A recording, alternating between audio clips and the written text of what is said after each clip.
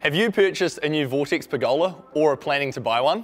In this video, you'll learn how to assemble the manual Vortex Pergola blinds to your shade piece. Hi, I'm Jake and this is Jamie. And in this video, we'll show you how to assemble your manual Vortex Pergola blinds. This particular model we're using here is the 4600 model. If you're wanting blinds on the four meter side of this, you'll obviously just use a four meter blind. But if you're wanting blinds on one of the six meter sides, each side will need two three meter blinds. Before we get started, there are a few quick important points. First of all, make sure to wear a safety hat, protective glasses, and enclosed shoes. We also recommend having two people for this install, which is why we've got Jamie along.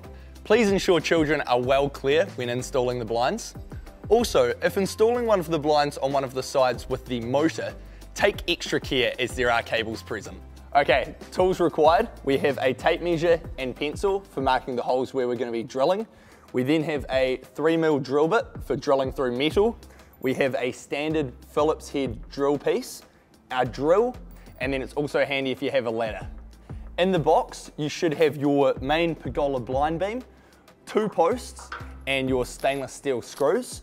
Um, just a quick point to note, with the posts, there will be a top and bottom. The bottom side will have this plastic cap for sitting on the ground.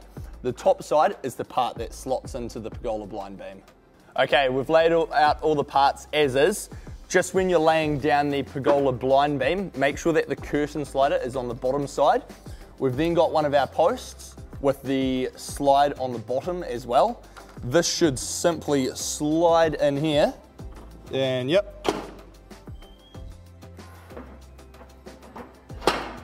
Oh, okay, now that we've got all that set together, we are putting the blind up in this wall here. All you have to do is hold the blind together and lift up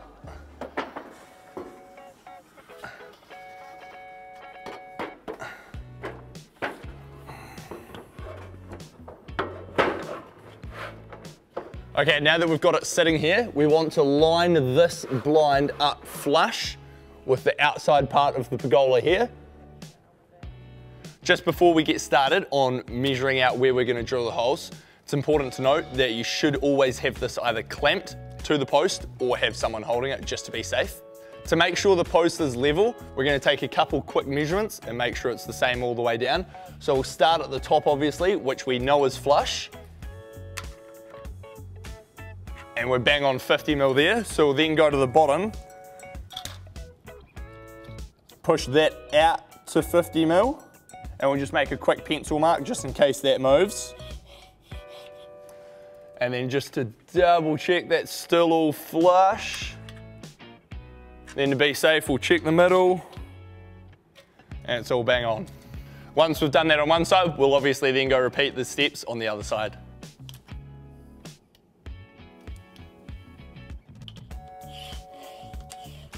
Okay, now that we have the beams all sitting flush in the pergola, we're gonna pre-drill all of the holes. So we're gonna do three on each side, one at the top, middle, and bottom.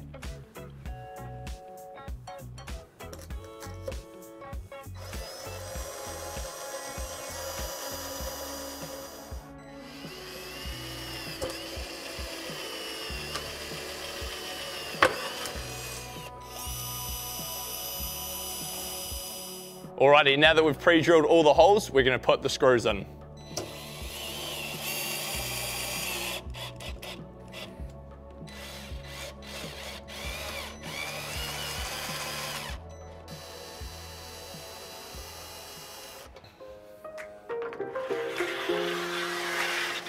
And that is how to install a Vortex Pergola blind. Thanks for watching this video. You should now be able to attach your Vortex Pergola blinds and have the options between sun, shade, and privacy. Are you wondering how to assemble a Vortex Pergola? Watch the video to learn how to assemble any of the three in our range. For more information, visit the Learning Centre on our website or contact one of our showrooms and talk to one of our friendly team members.